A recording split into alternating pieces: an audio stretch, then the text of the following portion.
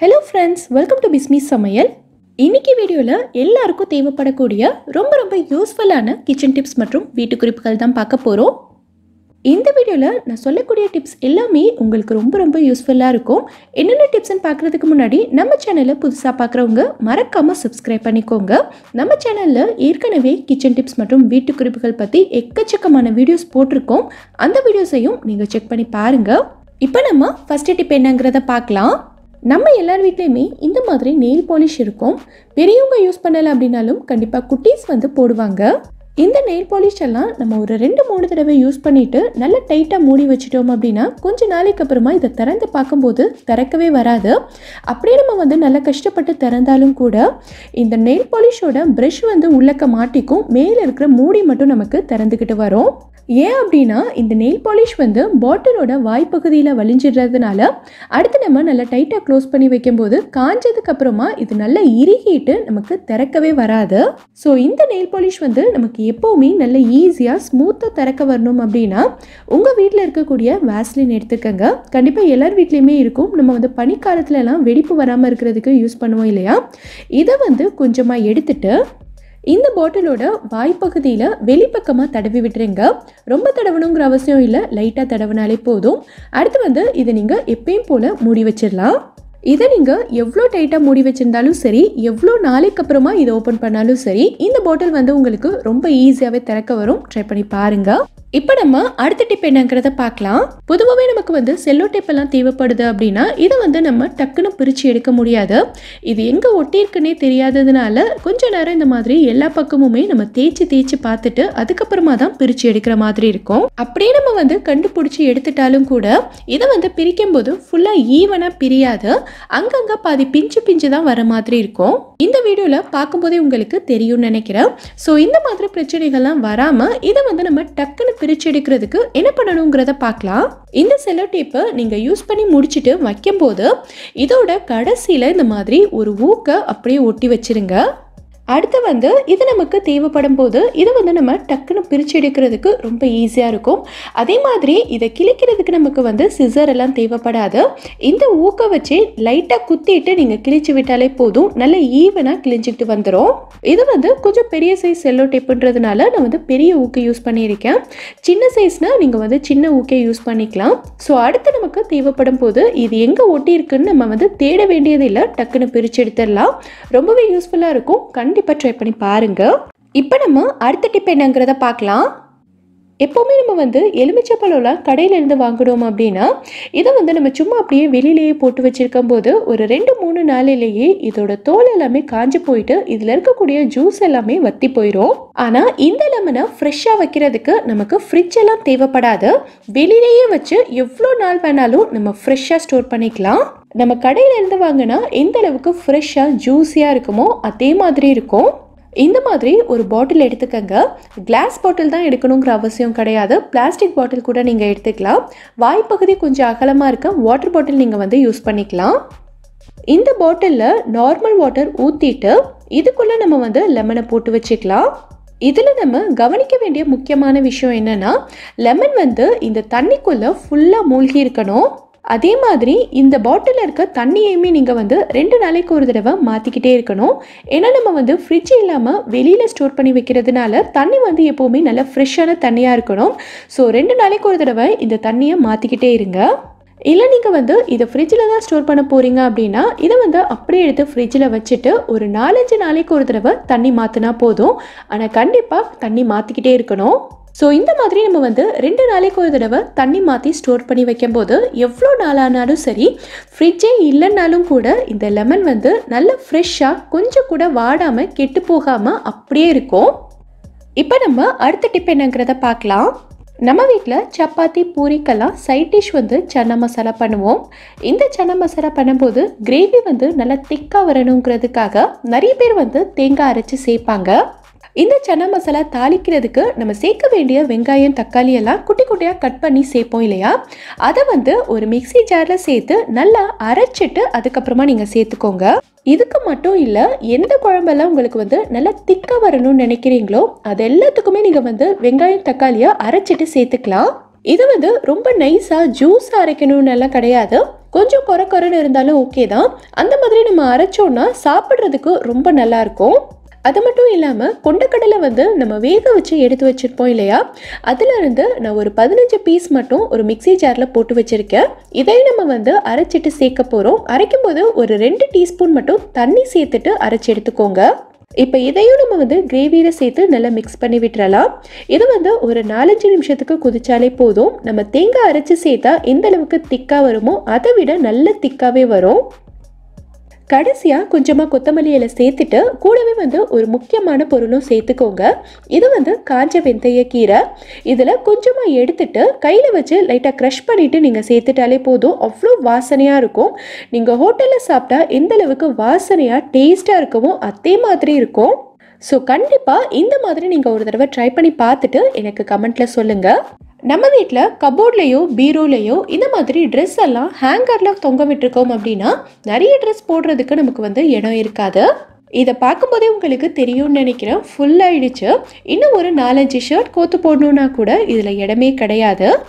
ஆனால் இப்போ நான் சொல்ல போகிற டிப்பை நீங்கள் தெரிஞ்சுக்கிட்டீங்கன்னா இதில் உங்களுக்கு பாதி இடம் கூட தேவைப்படாது. இதில் இருக்கிற எல்லா ஷர்ட்டையும் நம்ம ஈஸியாக ஹேங் பண்ணிடலாம். எப்படிங்கிறத பார்க்கலாம். இதுக்கு நம்ம யூஸ் பண்ண போகிறது பார்த்தீங்கன்னா வளையல் தான். எல்லார் வீட்லேயுமே கண்டிப்பாக வளையல் இருக்கும். குட்டீஸ் இருக்கிற வீட்டிலலாம் பார்த்தீங்கன்னா பழைய வளையல் வந்து நிறைய இருக்கும். அதை வந்து நம்ம யூஸ் பண்ணிக்கலாம். இந்த வளையலை நீங்கள் வந்து ஹேங்கரில் இந்த மாதிரி மாட்டி விட்டுட்டீங்க அப்படின்னா இந்த வளையலில் நம்ம வந்து இன்னொரு ஹேங்கர் மாட்டிக்கலாம். இந்த வீடியோவில் பார்க்கும்போதே உங்களுக்கு புரியும்னு நினைக்கிறேன். ரெண்டு ஹேங்கர் மட்டும் இல்லை இன்னொரு வளையல் யூஸ் பண்ணோம் அப்படின்னா மூணாவது ஹேங்கரையும் நம்ம வந்து மாட்டிக்கலாம். இந்த மாதிரி நம்ம செஞ்சிட்டோம் அப்படின்னா ஒரு ஹேங்கர் மாட்ட வேண்டிய இடத்துல மூணு ஹேங்கர் மாட்டுற மாதிரி ஆயிடுச்சு ஸோ இந்த மாதிரி நம்ம செய்யும்போது இடமும் நமக்கு வந்து ரொம்பவே மிச்சமாகும். மீதி இருக்கிற இடத்துல நம்ம வந்து நிறைய ட்ரெஸ் வச்சுக்கலாம். எல்லா குழந்தைங்களுமே ஈவினிங் டைம் ஆனால் கண்டிப்பாக ஸ்நாக்ஸ் கேட்பாங்க. ஸோ அந்த டைமில் என்ன செஞ்சு கொடுக்குறதுன்னு நீங்கள் யோசிக்கும் போது இப்போ நான் சொல்கிற மாதிரி நீங்கள் செஞ்சு கொடுக்கலாம். இதுக்கு நீங்கள் வேலை செய்ய வேண்டிய நேரம்னு பார்த்தீங்கன்னா அஞ்சே நிமிஷம்தான். ரொம்ப ரொம்ப ஈஸியாக டக்குன்னு முடிஞ்சிடும் கொஞ்சம் பெரிய மிக்ஸி ஜார் எடுத்திருக்கேன். இதில் நான் வந்து அரைக்கப்பளவுக்கு ரவை சேர்த்துக்கிறேன். இது வந்து நம்ம எப்போவுமே உப்மாவுக்கெல்லாம் யூஸ் பண்ணுற ரவை தான். வறுக்காத ரவையாக இருந்தாலும் ஓகே தான். நீங்கள் அப்படியே சேர்த்துக்கலாம். இப்போ இந்த ரவையை நம்ம லைட்டாக அரைச்சி எடுத்துக்கலாம். இப்போ இது கூடவே நான் வந்து ஒரு முட்டையை உடச்சி சேர்த்துக்கிறேன். நம்ம எடுத்திருக்க அரைக்கப் ரவைக்கு இந்த ஒரு முட்டை வந்து கரெக்டாக இருக்கும். இது கூடவே நான் வந்து கால் கப் அளவுக்கு பால் சேர்த்துக்கிறேன். இது கூடவே அரைக்கப்பளவுக்கு சுகர் சேர்த்துக்கிறேன் உங்களுக்கு இனிப்பு ரொம்ப பிடிக்காது அப்படின்னா இதை வந்து நீங்கள் கம்மி பண்ணிக்கலாம். அடுத்ததாக கால் கப்பளவுக்கு எண்ணெய் சேர்த்துருக்கேன். இது வந்து நம்ம எப்போவுமே சமையலுக்கு யூஸ் பண்ணுற நார்மல் குக்கிங் ஆயில் தான். அடுத்ததாக கால் கப்பளவுக்கு தண்ணி சேர்த்துட்டேன். ஒரு டீஸ்பூன் அளவுக்கு வெனிலா எசன்ஸ் சேர்த்துக்கிறேன். நம்ம வந்து இதில் முட்டையெல்லாம் சேர்த்துருந்ததுனால நிறைய பேருக்கு பார்த்தீங்கன்னா இந்த முட்டையோட ஸ்மெல் வந்து பிடிக்காது. ஸோ வெனிலா எசன்ஸ் சேர்த்திங்கன்னா இந்த முட்டையோட ஸ்மெல் வந்து உங்களுக்கு தெரியாமல் இருக்கும். அடுத்ததாக இது கூடவே கால் டீஸ்பூன் அளவுக்கு உப்பு சேர்த்துட்டு இது எல்லாத்தையும் ஒரு தடவை நல்லா அடித்து எடுத்துக்கலாம். நல்லா அடித்து எடுத்ததுக்கப்புறமா இந்த மாதிரி தான் இருக்கும். இதை வந்து ஒரு பவுலுக்கு ட்ரான்ஸ்ஃபர் பண்ணிவிட்டு ஒரு பத்து நிமிஷத்துக்கு நல்லா ஊற விட்டுருங்க. இதில் நம்ம வந்து ரவையெல்லாம் சேர்த்துருந்ததுனால நல்லா ஊறுனா தான் ரவை வந்து சாஃப்டாக வரும். ஸோ பத்து நிமிஷத்துக்கு இது வந்து ஊறட்டும். பத்து நிமிஷம் நல்லா ஊறினதுக்கு அப்புறமா ரவை வந்து நல்லா ஊறி கொஞ்சம் திக்காக வந்திருக்கும். இப்போ இதோட நம்ம வந்து மற்ற பொருட்கள்லாம் சேர்த்துக்கலாம். அரைக்கப்பளவுக்கு மைதா சேர்த்துருக்கேன். இந்த மைதாக்கு பதிலாக நீங்கள் வந்து கோதுமை மாவு கூட சேர்த்துக்கலாம். மாவு பொருட்கள் சேர்க்கும் போது இந்த மாதிரி ஒரு சல்லடை வச்சுட்டு அதில் நீங்கள் வந்து சலிச்சு சேர்த்தீங்க அப்படின்னா மாவு வந்து உங்களுக்கு கட்டிப்படாமல் இருக்கும். இது கூடவே ஒரு டீஸ்பூன் அளவுக்கு பேக்கிங் பவுடர் கால் டீஸ்பூன் அளவுக்கு பேக்கிங் சோடா சேர்த்துட்டு இது எல்லாத்தையும் நல்லா சலிச்சு விட்டுறலாம். ஸோ கடைசியில் பார்த்தீங்கன்னா இந்த மாதிரி நல்லா கட்டி கட்டியாக இருக்கும். இது எல்லாத்தையும் நம்ம வந்து தனியாக எடுத்துடலாம். அடுத்து இது எல்லாத்தையும் சேர்த்து நல்லா கலந்து விட்டுருங்க. இந்த மாதிரி ஒரு விஸ்க் வச்சு கலந்தீங்க அப்படின்னா கட்டிப்படாமல் ரொம்ப ஈஸியாக கலந்துட முடியும். ஸோ பேட்டரோட கன்சிஸ்டன்சி பார்த்தீங்கன்னா இந்த மாதிரி இருக்கணும். ரொம்ப தண்ணியாகவும் இருக்கக்கூடாது ரொம்ப திக்காகவும் இருக்கக்கூடாது. அடுத்தது பார்த்தீங்கன்னா நான் வந்து கொஞ்சமாக டுட்டி ஃப்ரூட்டி எடுத்திருக்கேன். இதை வந்து நம்ம அப்படியே மாவோட சேர்த்து கலந்துட்டோம்னா டுட்டி ஃப்ரூட்டி எல்லாமே மாவோட அடியில் போய் தங்கிரும். ஸோ அதுக்கு நம்ம என்ன பண்ணணும்னா கால் டீஸ்பூன் அளவுக்கு மைதா எடுத்து இதில் சேர்த்து நல்லா கலந்து விட்டுருங்க. இந்த மைதாக்கு பதிலாக நீங்கள் வந்து கோதுமை மாவு கூட யூஸ் பண்ணிக்கலாம். ஸோ இந்த மாதிரி மாவோட சேர்த்து மிக்ஸ் பண்ணிவிட்டு நம்ம யூஸ் பண்ணும்போது இது வந்து அடியில் போய் தங்காது. இப்போ இதை வந்து நம்ம ரெடி பண்ணி வச்சுருக்க மாவோட சேர்த்து நல்லா கலந்து விட்டுறலாம். கொஞ்சத்தை மட்டும் நான் தனியாக எடுத்து வச்சுருக்கேன். இந்த அளவுக்கு நல்லா கலந்து விட்டதுக்கப்புறமா இதை வந்து ஒரு நான்ஸ்டிக் பேன்லேயோ இல்லைன்னா கடாயிலையோ மாற்றிட்டு நம்ம பேக் பண்ண போகிறோம் ஸோ இது வந்து அடியில் ஒட்டாமல் இருக்கணுன்றதுக்காக நான் வந்து ஆடி எக்கோபேக்கோட குக்கிங் பேப்பர் சர்க்கிள்ஸ் தான் யூஸ் பண்ண போகிறேன் இதை வந்து நம்ம ரவுண்ட் ஷேப்பில் கட் பண்ணணுங்கிற அவசியம் கிடையாது. ஏற்கனவே இது ரவுண்ட் ஷேப்லேயே தான் கட் பண்ணி வச்சுருப்பாங்க. நம்ம வந்து அப்படியே எடுத்து யூஸ் பண்ணிக்கலாம். யூஸ் பண்ணுறதுக்கு ரொம்ப ஈஸியாக இருக்கும். இது வந்து நமக்கு six inch seven inch eight இன்ச்சுன்னு சொல்லிட்டு நிறைய சைஸஸில் அவைலபிளாக இருக்குது நான் இன்னைக்கு வந்து சிக்ஸ் இன்ச் தான் யூஸ் பண்ணியிருக்கேன். ஸோ இந்த ப்ராடக்ட் உங்களுக்கு வேணும் அப்படின்னா நான் டிஸ்கிரிப்ஷன் பாக்ஸில் லிங்க் கொடுக்குறேன்.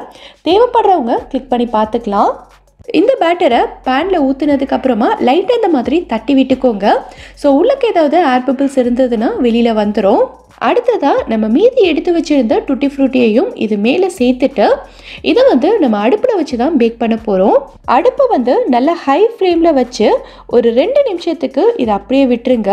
மேலே வந்து நல்ல ஒரு டைட்டான மூடி போட்டு மூடணும். மேலே இருக்கிற ஹோலையும் நான் வந்து ஒரு டிஷ்யூ வச்சு க்ளோஸ் பண்ணிக்கிறேன். ரெண்டு நிமிஷத்துக்கு அப்புறமா அடியில் ஒரு தோசைகள் வச்சுட்டு அது மேலே பேனை வச்சுக்கோங்க. இப்போ ஸ்டவ்வை வந்து நல்லா குறைச்சி லோ ஃப்ளேமில் வச்சுருங்க. எந்த அளவுக்கு குறைக்க முடியுமோ அந்த அளவுக்கு குறைச்சி வச்சிடணும் நல்ல லோ ஃப்ளேம்லேயே வச்சு ஒரு முப்பது நிமிஷத்துக்கு இதை பேக் பண்ணி எடுத்துட்டிங்கன்னா நல்ல சூப்பரான கேக் வந்து நமக்கு ரெடி ஆயிரும். முப்பது நிமிஷத்துக்கு அப்புறமா கேக் வந்து ஃபுல்லாக பேக் ஆயிருக்கான்னு பார்க்குறதுக்காக ஒரு குச்சியை வந்து உள்ளே விட்டு பார்க்குறேன் குச்சி வந்து மாவு எதுவுமே ஒட்டாமல் நல்லா க்ளீனாக வந்திருக்கு. ஸோ கேக் வந்து சூப்பராக பேக் ஆயிருக்கு. லைட்டாக கத்தி வச்சு சைடு எல்லாத்தையும் எடுத்து விட்டுட்டு ஒரு பிளேட்டில் கவுத்துனீங்கனாலே போதும் ஈஸியாக வந்துடும் நான் இதை கட் பண்ணி காட்டுறேன் பாருங்கள் எவ்வளோ சாஃப்டாக ஸ்பஞ்சியாக வந்திருக்குன்னு.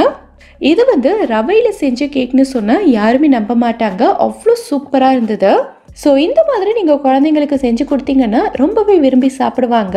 இது செய்கிறதுமே ரொம்ப ஈஸி தான். மிக்சியில் போட்டு அடிச்சிட்டிங்க அப்படின்னா டக்குன்னு வேலை முடிஞ்சிடும் ஸோ கண்டிப்பாக ட்ரை பண்ணி பார்த்துட்டு எனக்கு கமெண்ட்ஸில் சொல்லுங்கள் இந்த வீடியோவில் நான் சொல்லியிருக்க விஷயங்கள் எல்லாமே உங்களுக்கு ரொம்பவே யூஸ்ஃபுல்லாக இருந்திருக்கும்னு நினைக்கிறேன். இதிலிருந்து ஏதாவது ஒரு விஷயம் உங்களுக்கு யூஸ்ஃபுல்லாக இருந்தாலும் மறக்காமல் எனக்கு கமெண்ட்டில் சொல்லுங்கள் இந்த வீடியோ பிடிச்சிருந்தா லைக் பண்ணுங்க. உங்க ஃப்ரெண்ட்ஸ் உங்க ஃபேமிலி மெம்பர்ஸ்க்கு இந்த வீடியோ யூஸ்ஃபுல்லா இருக்கும்னு நினைச்சீங்கன்னா கண்டிப்பா ஷேர் பண்ணுங்க. மறக்காம நம்ம பிஸ்மி சமையலுக்கு சப்ஸ்கிரைப் பண்ணிட்டு பக்கத்தில் இருக்கக்கூடிய பெல் ஐக்கான்ல ஆப்ஷன் ஆலும் செலக்ட் பண்ணுங்க. Thank you